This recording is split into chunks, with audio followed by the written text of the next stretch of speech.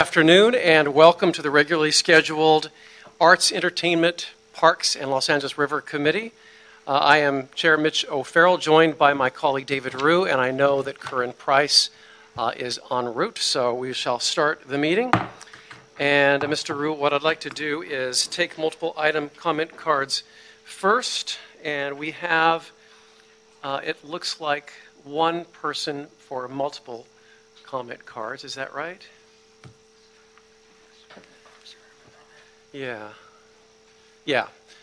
General and then uh, comment cards on two, three, four, and six, nine, ten, uh, all of them. And that is Armando Herman. So, Armando Herman, uh, you're on. Step forward, and you have two minutes for comments on the agenda items and one minute for general public comment. Wow. Apparently the kiosk is working this time, Mr. Walsh. HollywoodHighland.org.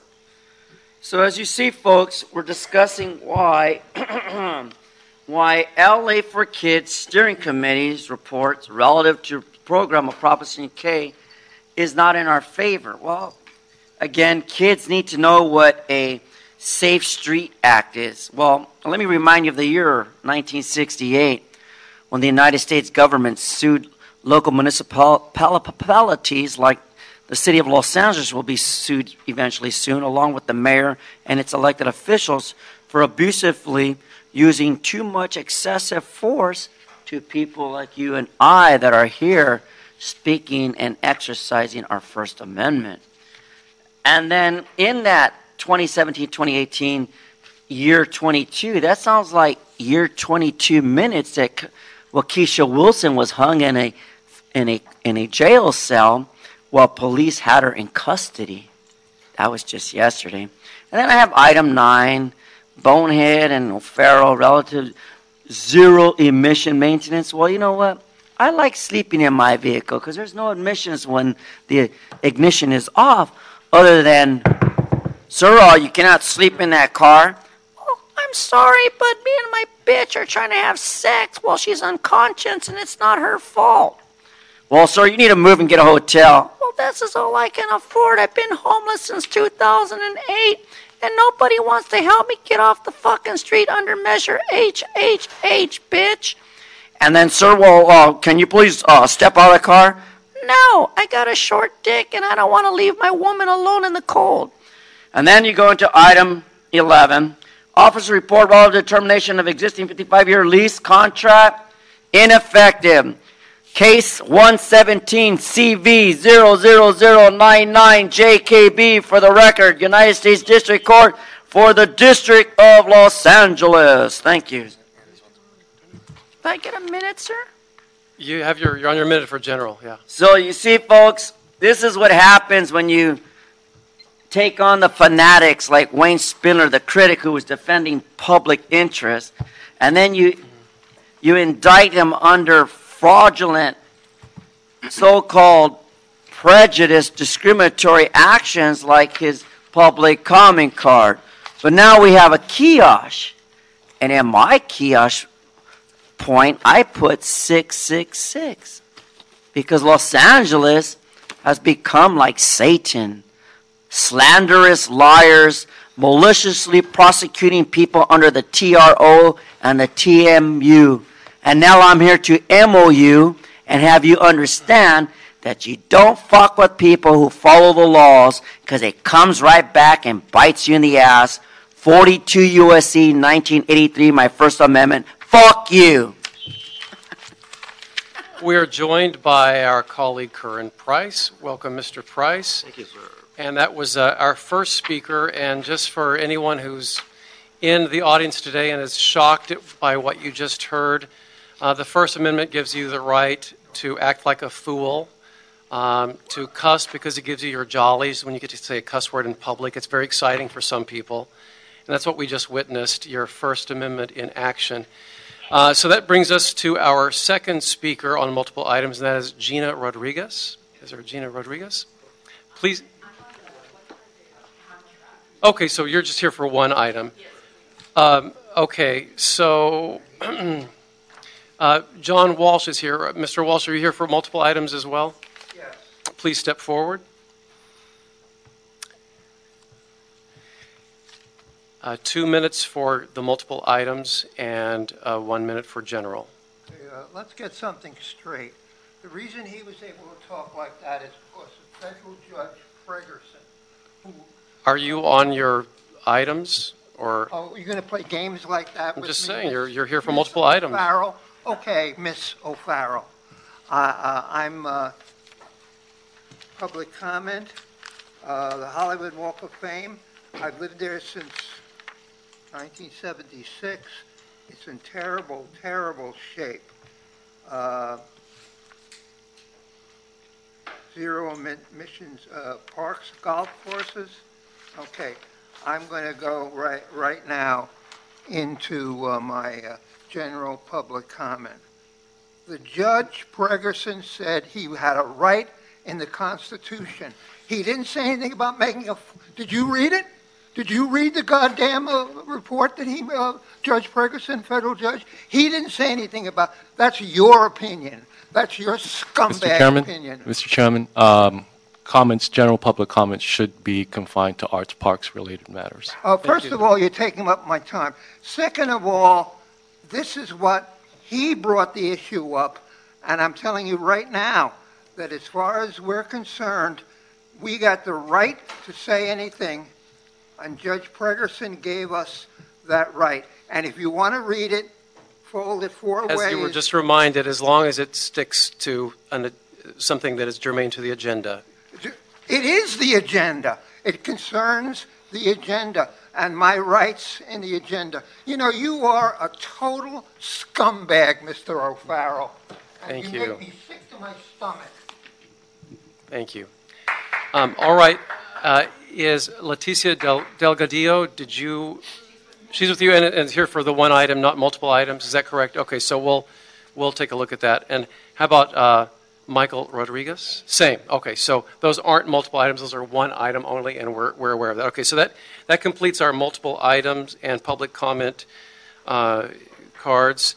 Uh, And so, colleagues, what I'd like to do is uh, take items 1 through 8 and item 10. Let's pause for a second because we're being interrupted by Mr. Walsh and Mr. Herman. Okay, so, all right, so you're both interrupting. All right, so that's your first warning. You'll get one more. Uh, One more interruption and you're out of here. All right, so that, uh, what I'd like to do, colleagues, is take items 1 through Actually, Ms. Rodriguez and uh, Ms. Delgado and, and Mr. Rodriguez, what item are you here to speak on again? Which is item number? 11, okay, we're going to hear those anyway. All right, so that we're, we're good there. Got it, thank you. So uh, without objection, we'll take items 1 through 8 and 10 on consent. All right, so, so we'll do that. Uh, And that brings us to uh, item number 9. If we could read number 9 into the record, please. Yes, Mr. Chairman. Item number nine is motion O'Farrell Koretz Bonin relative to the use of zero-emission maintenance equipment at parks or golf courses in neighborhoods where improved air quality could be most beneficial. Thank you so much. Um, Thank you, gentlemen. So please uh, identify yourselves for the record, and uh, please give your uh, uh, report on, uh, on what we have going here on zero emissions. Thank you, sir. Um, my name is Matthew Rudnick. Um, I'm with the Department of Recreation and Parks. I'm a chief management analyst, but I also serve as our chief sustainability officer with the department. Welcome. Good afternoon, uh, committee members. Javier Solis, Superintendent of the Department of Recreation and Parks, Maintenance Operations. So we're here today reporting on a motion in front of you that instructs the Department of Rec and Parks to report on a pilot program um, to implement the use of zero-emission electric uh, maintenance equipment, grounds maintenance equipment. Um, we have various pieces of electric equipment throughout our um, park system that our maintenance uh, staff uses, um, but we do um, think that it's a, a great opportunity to advance that work. Um, there's a lot of new emerging battery technology that we can take advantage of. Um, so Javier is going to give a little bit of a overview. We, we plan to report back in writing in 30 days as the motion instructs, but we thought we could give you a little bit of a brief update on how we're thinking about proceeding with the pilot program. Terrific. Um, the other thing I would, I would just say is we did meet with the American Green Zone Alliance, which is a consulting firm and an accreditation kind of um, consulting firm that assists with greening grounds maintenance equipment, and they were the um, uh, partner in the city of South Pasadena's efforts to do kind of a green maintenance for the entire city. So we met with them, and they had a lot of great information for us a few months ago. And so we're going to um, likely, again, meet with them because there's a need to evaluate um, the equipment we do pick and deploy to parks. But I'll hand it over to Javier to talk about um, the purchase of some equipment and how we plan to deploy it um, in some of the areas of the city that are um, highest impacted by pollution. Terrific. And before you start, Mr. Solis, please hold it down, Mr. Walsh, because it's interrupting the meeting. Thank you. Mr. Solis. Yes, thank you, Matt. So, uh, yes, uh, currently we are in the process of uh, procuring electric mowers, line trimmers, and blowers from three different uh, manufacturers. We like to try out different pieces of equipment. I'm sorry, the same type of uh, equipment from three different uh, vendors, so we can, you know, see how they work and as far as durability. Um, this equipment will be deployed and rotated around three different maintenance districts. Preliminary, um, we are looking at uh, piloting the equipment in Boyle Heights, Wilmington, and Pacoima, which we know suffer from um, disproportionately high pollution burdens. Our maintenance staff will evaluate the equipment and it is uh, and its durability, and explore uh, the charging equipment and battery needs of these units. After the equipment is evaluated, evaluated, we will get our maintenance crews together to discuss the strength and weaknesses of these units. Um, we can explore larger implementation strategy with um, American Green Zone Alliance on how best we can we may be able to scale up and replace gas power equipment. We will also be using some new green electric mowers at our, our, golf, our, our, at our golf courses, and we will report back to you as well on this matter. Okay. And, and I would just add, you know, it's, it doesn't really stop just with the light um, handheld equipment. We're looking at greening kind of all of our fleet. So from s- sedans we run, we have quite a few trucks and heavy duty equipment. There's a lot of new technology out, and with GSD and others, we're evaluating what's available to us so that we can really be a leader in, in greening some of our fleet and um, reducing our greenhouse gas emissions. And I'm glad you mentioned golf courses, uh, too. So our golf courts, are they, are there modern ones? Are they electric powered or are they gas powered? The modern ones? Yeah, so Yeah. uh, there's there's um, uh, right now in the system we have some diesel that we're that we're replacing with electric uh, Okay. mowers. So they're aging out. When do you think the, we'll have all diesel off of the grounds of?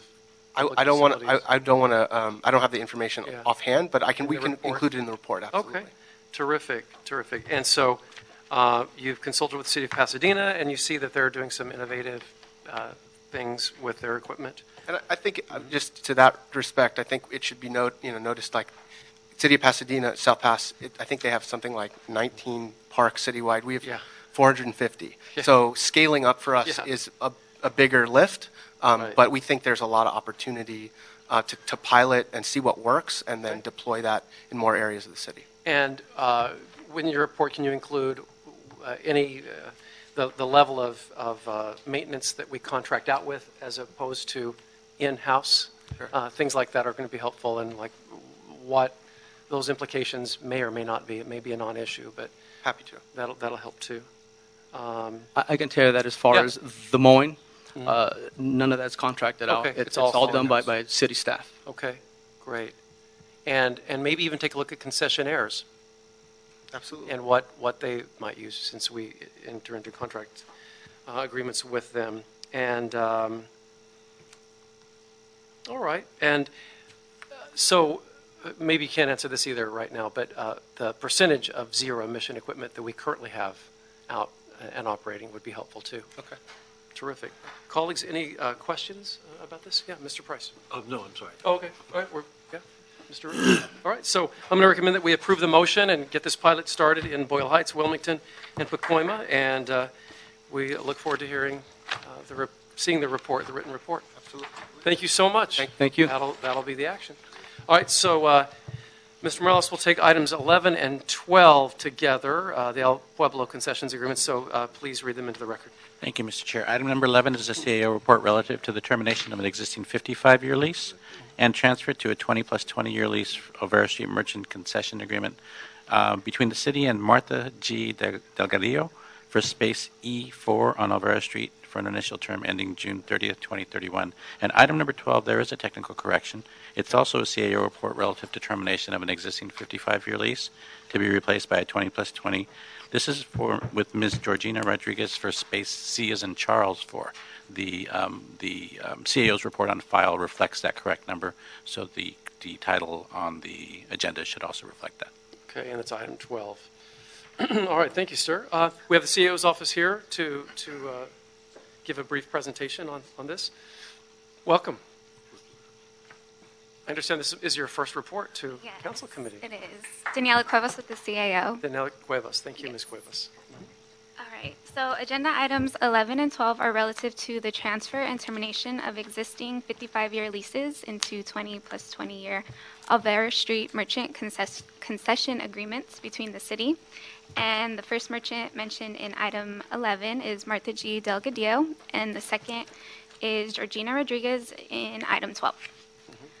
Um, along with the request to terminate their existing leases, both merchants are requesting to add family members to their concession, which they'll be able to do so under the 20 plus 20 um, year agreement. The current merchant leases are two of 14 existing 55 year leases, and as of right now, there are 59 merchants that operate under the 20 plus 20 year concession agreement. And eventually, um, El Pueblo hopes to get all merchants to operate under the 20, excuse me, 20 plus 20 year agreement because it not only allows um, for the addition of new family members, like in this case, um, but it will standardize term length and the contractual terms and conditions. And it will also allow for equal rent increases, and that corresponds with more revenue for the department. And that sums up the items. Um, I'm happy to I'm happy to answer any questions you may have, and the department's here as well, just in case. Terrific. One quick question. Any idea on when you'll have all of these leases synced up uh, to fit within that uh, ideal 20-year? That I don't know. I have to refer to It's- the department. That's something you're working on. I do. I do believe they are working. Espinosa is here. Thank you. Hi, Chris Espinosa, General Manager of El Pueblo Historical Monument, and thank you for the question. Um, This is our first foray into transferring these um, concession agreements over, and so we're really excited. If approved by the council, it sends a signal to the other merchants that there is a, a, a policy and a process to be able to transfer these individuals over. I, I haven't um, taken a very um, aggressive move with the merchants. I right now it's it's offered to them. I think once they see this move over, I'm going to get more coming over to to a more standardized agreement. So we're excited to do this cleanup action after many years. It sounds like a great initial first step. Yeah, and, and you know the, the, these merchants here, they're getting ready for a lot of merchants are getting ready for retirement, and um, so we want to make sure to um, assist them in that in that progress and that process. So um, I think you're going to see additional uh, concessions coming your way. Terrific. Thank you. Thank you, Mr. Espinosa. Mr. Ryu? It's just a quick question. Um, there's 59 contracts, I already have the 20 plus 20. How many merchants are there total? A- approximately 75 merchants total. Um, some, you know, some merchants have more than one concession agreement. So uh, when I say um, there's about 75 concession agreements, there might be maybe uh, 65 merchants total because some merchants control more than one concession. Okay. So there's only about 16 left who's not under 2020. Yeah, about about 14, about 14. Terrific. Mr. Price? So the, uh, the example we have here with Delgado, Del Delgadillo, she went from 250, 275 up to 822? That's correct. That's a big, so there hadn't been any increases in years and years and years, or what what was? Uh, Yeah, the, the concession agreement under that 55-year contract um, has some interesting pres- provisions in there. Uh, One of them being that we are unable, the city is unable to increase the rent unless we build a multi-level parking structure at parking lot number two, which was contemplated uh, many decades ago. Um, in fact, there are a number of archaeological resources under that space, and of course, it takes a long time to plan and develop a major parking lot on that structure. So that, of course, never occurred, and so we're we're we're stunted with the very very low rent. Um, I've confirmed with the merchants that they are ready and willing to pay this higher rate and then follow the same practice as all the other 59 merchants, which is every five years we review the rent structure and then we make adjustments based on a, an appraisal. Thank you. Terrific. Well, thank you. We have some of the speakers here. I think we'll hear from, it. Uh, I think there may, might be merchants from Oppo. Thank you so much, uh, um, Ms. Cuevas and Mr. Espinosa. Thank you. And so if uh, Gina Rodriguez and Leticia Delgadillo and Michael Rodriguez could step forward, you can all, well, two of you can take a seat, uh, and, and we'll hear from uh, Ms. Rodriguez and Ms. Delgadillo first. Oh, okay. Good afternoon, Good everybody. afternoon. My name is Gina Rodriguez, and I want to, first of all, thank Dove and Chris Espinosa for all the hard work that went into uh, finally being able to have the 2020. Mm-hmm. We've been trying to do this for over five years, I believe. So mm-hmm. it took a long time, but we're here now. Our family started in 1928, so we're oh six generations on Olvera Street. Mm-hmm. Wow. And with the other contracts, the 55-year contracts, we weren't allowed to add anybody.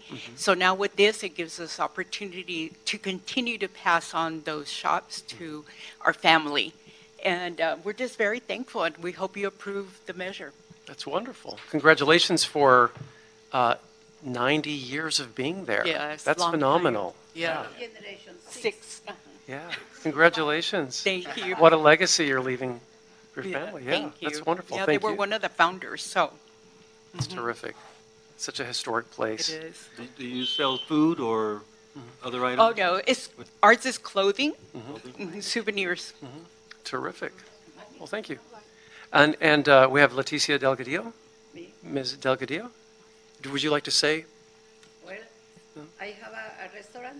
They call it Mr. Churro. And can you speak into the microphone? We can just you can just hold it over there if the cord is long enough. Yeah. Oh, this is my name Leticia Delgadillo. Mm-hmm. I'm here in, um, in 1957. I came to Olvera Street. Mm-hmm. I have 62 years in Olvera Street. He's my fifth generation, and I have one sixth generation. I'm very proud to be here in Olvera Street. It's very nice. I like it. Wonderful. Well, thank you so much for coming in today. Okay. Thank you. It's great to put a face with the historic, you know, uh, Thank El you. Pueblo and and uh, and and celebrate that Thank you. and meet you in person. So thanks for coming to City Hall. Oh, thank you. Appreciate it. Okay, that's enough, Mr. Herman. All right, and then we have uh, from uh, Michael Rodriguez. Mr. You're good.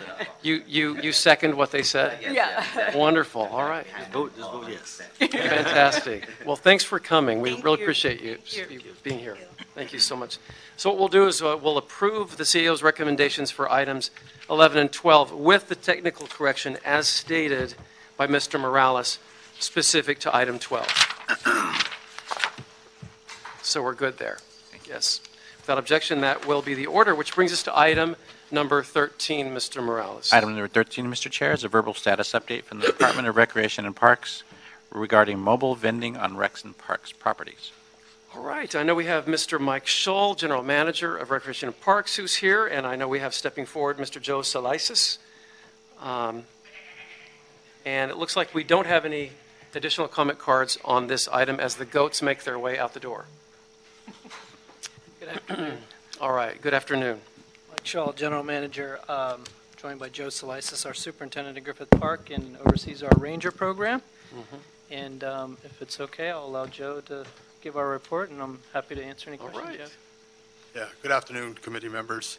Uh, So this is a verbal update on the mobile vending program that we were working on uh, back in 2016.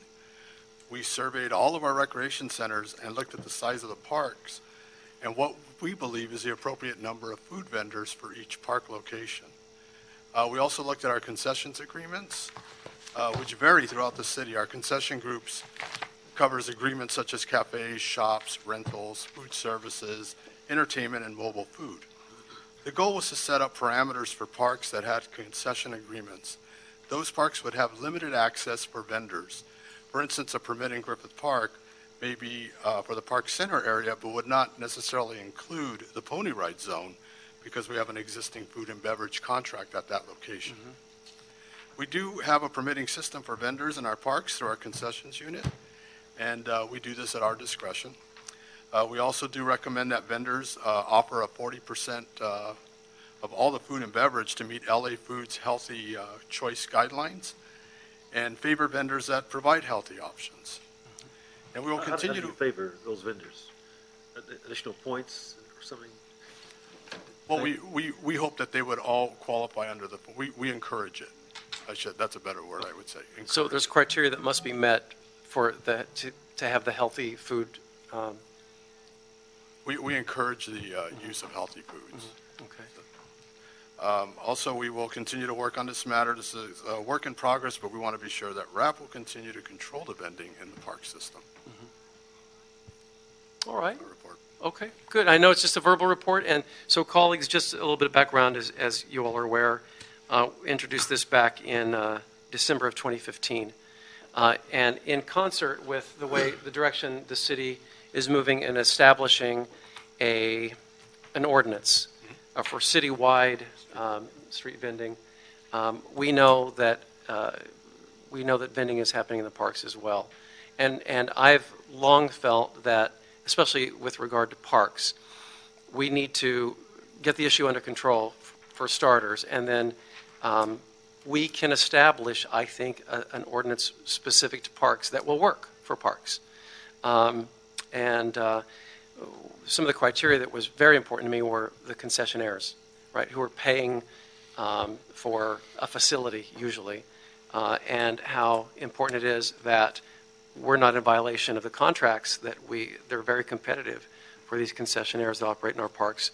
Uh, and so um, I'm happy to, to hear this verbal report, and um, there's going to be a direct relationship with how it's done in parks and how it's done everywhere else, where parks are governed under the city charter specifically. So uh, they have to be addressed um, similarly but separately because it's a completely separate animal, if you will, in relation to proximity, the boundaries, and everything else.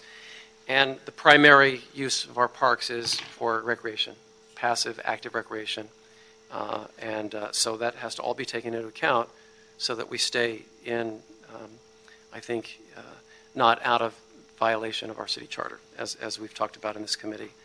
Um, and so um, I'm happy to hear even a minimal report uh, and happy to open up for, for questions. Mr. Price? Just a couple questions, uh, Mr. Chairman. First of all, thank you for your leadership on this issue of vending uh, in the parks. It is uh, inextricably uh, combined with the sidewalk street vending um, uh, legislation that we're looking at. And in fact, I'm hopeful that we can get something to council within the next month. Uh, And as you suggested, uh, these two items really should be traveling together. And so I'm hopeful that, that we can merge them in a way that uh, uh, makes it easy to understand and is fair and, you know, protects the public as we move forward. So appreciate, uh, appreciate your input. Thank you. Thank you. Mr. Ryu?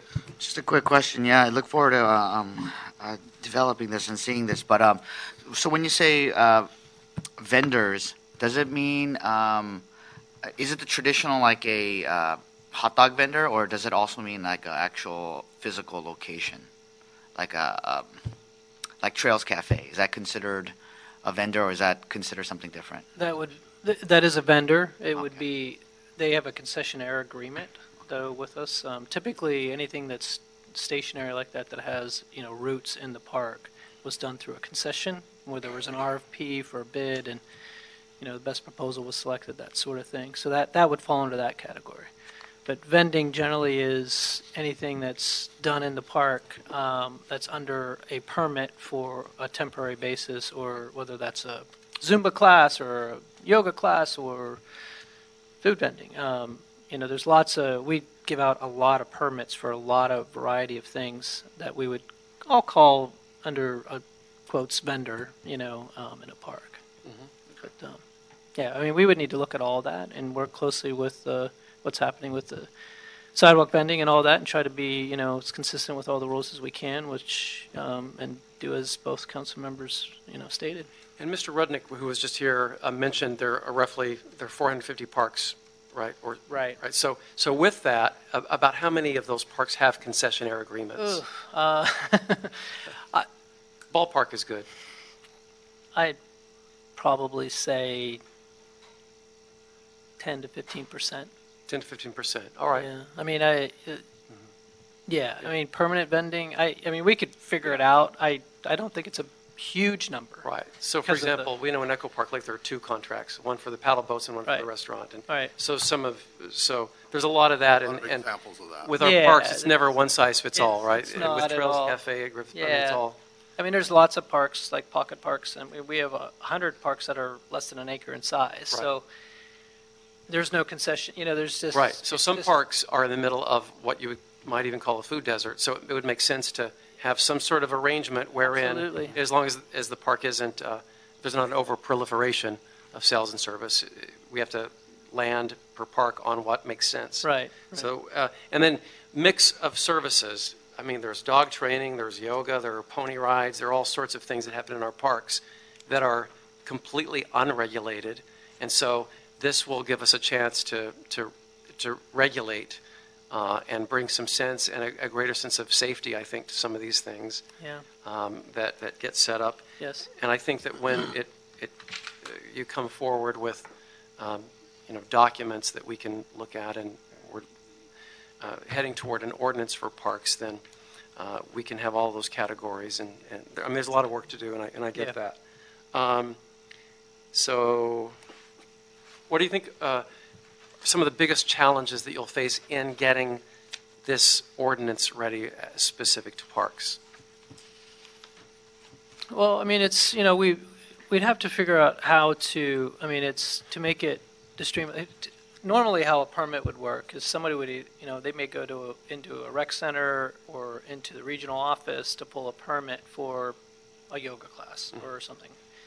Um, We don't think we'd be able to do that with this type because there's other things that would need to be checked, like do they have a BTRC? Do they have a, um, are they licensed, do they have a county health permit? That's probably the biggest concern that we have is making sure, because we can't be responsible for permitting something that doesn't, that isn't licensed by the county health department. Right. So, So all food items that are sold yeah, require so that. we would have to figure out a way to centralize that so that the staff were trained to know, you know, it can't just be like, uh, like a normal permit. It has, to- we're going to have to figure out how we would do that. And I think it would be beneficial to the vendors as well to have a centralized location to where they know that they could go and get answers. Mm-hmm. So um, I think that's kind of what we have to figure out and what we would be working with the city council on is how we would actually, where we would do that and how we would do it. Maybe we- there's other, maybe there's a few areas in the city that we would do that. And we can also land on what types of merchandise are a, a- better fit for parks. As, for example, maybe we won't have a CD vendor,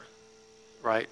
Travel Right. around Yeah. park selling CDs or whatever. Right. I mean, we, that's, that's right. I So mean, there- there's. there's nothing that would prevent us from like having an approved list of things that you can offer for sales or service. That, that's right. We could work with the, with the council on that, for sure. Terrific. Yeah. All right, colleagues.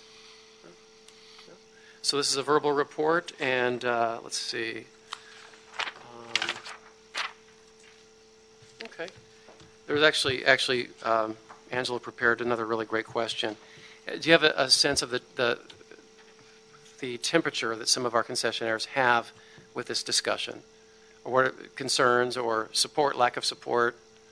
Um, we, we, I don't think that we've had a lot of, I mean, just generally, we haven't had a lot of conversations, but generally, it's always a bit of an issue when there's a vendor that's paying a fee to be somewhere, and then if there's somebody parked right outside of their door, it, that, that just creates Right. conflict, and nobody Right. wants that. Right.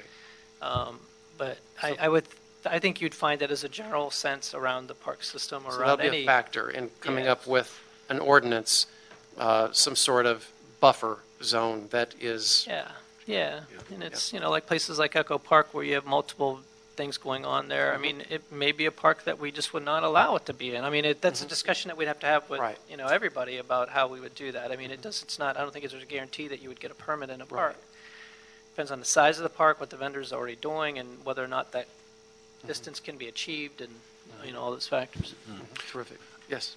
So- But, so as a rule, we wait for a a prospective vendor to come to uh, approach the city approach Parks and Recs about a, a site? It's not that we have a, every four years we send out an RFP for all the concessions that we have. No, Just- we would just, they would come in and apply for a permit. Okay. We wouldn't, I, I don't think we, would- we, we, ins- we don't foresee doing an actual, you know, agreement with each one, but just basically issuing them a permit to be, you know, in To this do what location. they That they wanna could show a ranger or a police officer, it's like I, you know, we're allowed to be here. I mean, that's, that's how we do all of our permits, so that's, that's how I would see we doing it here. Terrific. All right. Well, we look forward to scheduling the written, and we'll be in dialogue uh, with you on that. Uh, And as Mr. Price mentioned, I think it'll be good to have the two uh, proceed on a a dual track, because one will inform the other. Uh, And uh, so, looking forward to this. Thank you. Yeah, Thank you very Thank you. much. Thank you so much. All right, with that, Mr. Mouse, I think that completes all the agenda items. So since there are no further agenda items, this meeting is adjourned. Thank you so much.